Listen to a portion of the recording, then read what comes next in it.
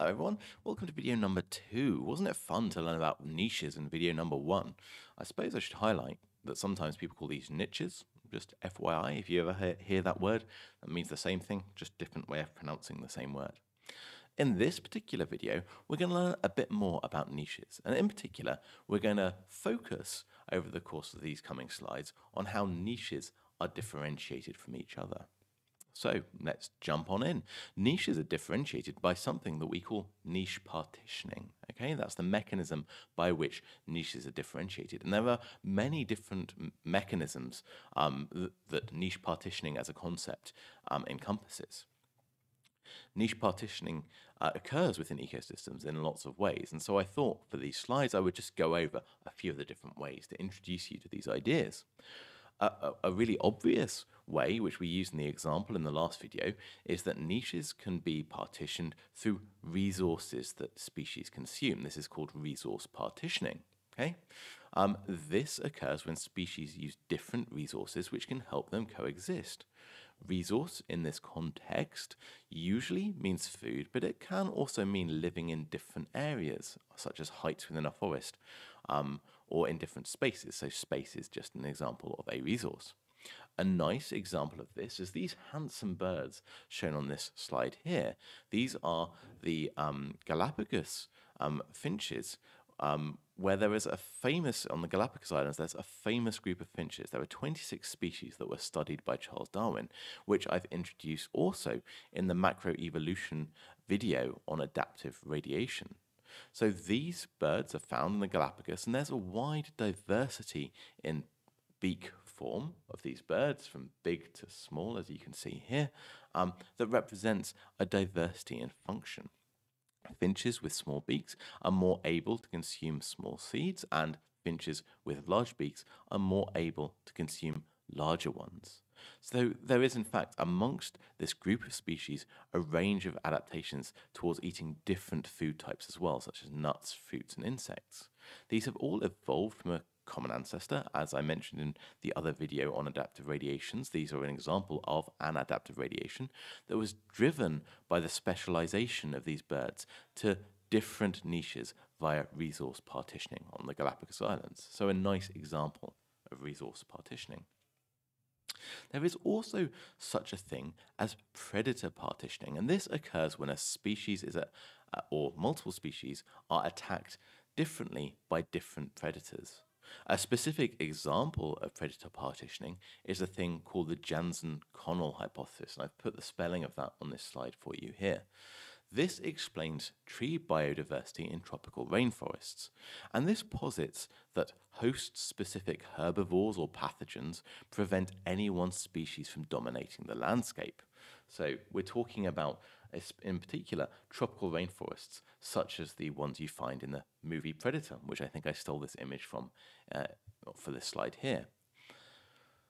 When you have host-specific herbivores or pathogens, that will prevent any one species from dominating the landscape. If, if a particular tree species is too common, there will be few safe spaces for its seedlings to survive uh, a larger predator number, because a, a, very common um, tree species will su uh, support a large number of predators.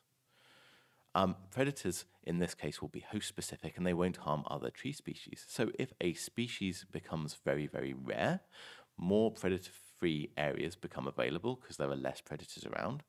And so species seedlings in that case will have a competitive advantage. Through cycles of this, there's a negative feedback that allows multiple tree species to coexist. This can be classified as a stabilizing mechanism. So that's an example of predator partitioning, basically when you have very, very um, uh, abundant and, and um, popular prey, you get more and more predators, and that stops any one species rising to dominance. I think that makes sense. I think it's a really nice example. There's also such a thing as conditional differentiation, and this occurs when species differ in their competitive abilities based on varying environmental conditions. So, an example here is a desert, as represented by this um, image from Mad Max. In a desert, some annual plants are more successful during wet years, while others are more successful during dry years. Okay, makes a lot of sense. I also wanted to introduce uh, a thing called temporal partitioning. This is the partitioning of niches explicitly based upon times, and that can facil- facilitate the coexistence of different species. So, writ large and broadly, we can say that different animal species will tend to have um, species specific um, activity patterns uh, uh, across any given day. Um, and these are evolutionarily constrained. So typically, you'll have some animals that are um, active at night, those nocturnal animals, and some say during the day. So those are partitioning their their niche, their eco space through the the activity patterns um, throughout the day.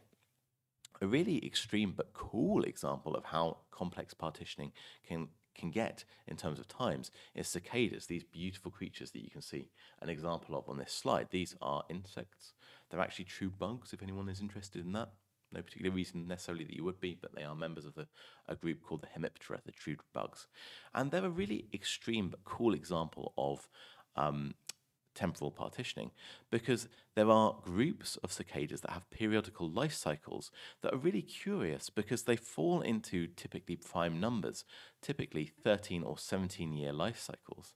So cicadas spend most of their lives living below the ground as um, juveniles, emerging, mating, and then dying within a few weeks. By sheer dint of numbers, because of how many of them there are, we think they're probably less likely to go extinct this way. However, the the the fact that these um, there are groups of these that um, only come out in prime numbered cycles of years, either 13 or 17, um, is an evolutionary response, we think. Uh, and we think these developmental times represent an adaptation to prevent hybridization between broods with different cycles. So if you don't want, uh, or you want to minimize the chances of hybridization occurring by two different species having one of these events at the same time, by settling on a prime number, you're far less likely to have coincidental um, broods occurring. These events are less likely to overlap as time goes along.